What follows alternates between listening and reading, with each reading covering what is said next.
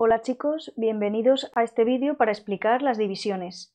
Vamos a explicar las divisiones sin utilizar las restas. Yo en clase todavía no lo había explicado, pero lo vamos a necesitar para este tiempo con las Snapped, porque en las Snapped no hay que poner las restas. Entonces lo primero que tenemos que, que tener en cuenta, hay que quitar estos puntitos que ya había puesto antes para prepararlo y tenemos el número 4362 dividido entre 6. Lo tenemos de las dos maneras para que lo veamos bien.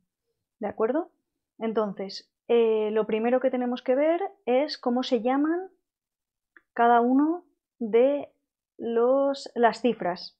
Acordaros que la cifra más grande es la palabra más grande, que es el dividendo.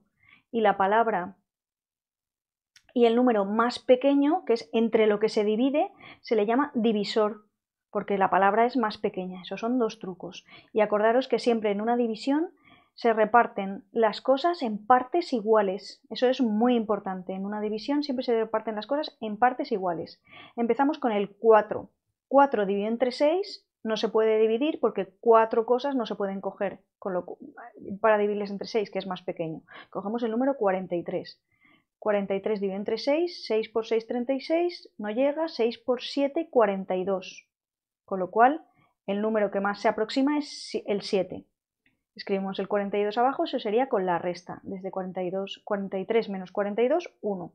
Y en el otro lado, ¿qué haríamos? Directamente pondríamos la distancia que hay desde 42 hasta 43. Entonces 6 por 7, 42, hasta 43, 1. Vamos con el siguiente, bajamos el 6 y tenemos 16 entre 6. 6 por 2, 12. 6 por 3, 18. Se pasa 6 por 3, entonces es el 2. 6 por 2, 12, hasta 16 o 16 menos 12 son 4. 12, 13, 14, 15 y 16. Cuatro cifras van. Entonces ponemos el 2 y de 12 hasta 16 van 4. Lo ponemos directamente. Y ahora bajamos el número siguiente que es el 2. Y ahora tenemos 42. Entre 6, ¿a qué cabe? Cabe a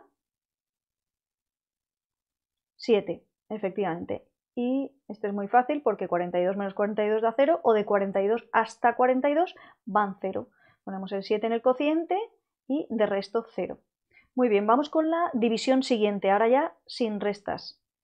Tenemos 2 dividido entre 7, 2 es un número más pequeño que 7 y no se pueden dividir dos caramelos entre 7 personas, con lo cual cogemos el 24. 24 dividido entre 7, 7 por 3, 21 ese se acerca, porque 7 por 4, 28 se pasa, con lo cual es el 3. 21 hasta 24 van 21, 22, 23, 24. 3, el número 3, escribimos el 3 y bajamos la cifra siguiente, 39. Entre 7, pues 7 por 4 son 28, 7 por 5, 35, este es el que más aproxima porque 7 por 6, 42 se pasa, con lo cual el 7 por 5, 35 es el que más se aproxima. De, 35 hasta 39 van 4. Y bajamos la cifra siguiente, el 9. 7 por 6, 42, pero 7 por 7 son 49, con lo cual es 7, efectivamente. Y de 49 hasta 49, pues van 0. Por lo tanto, tenemos claro que el resultado es 357 y se le llama al resultado cociente. y el resto es cero. Pues bueno, yo creo que con esto os podéis ir apañando. Por favor, a partir de ahora intentad no poner las restas. Bueno chicos, a seguir con ello y mucho ánimo.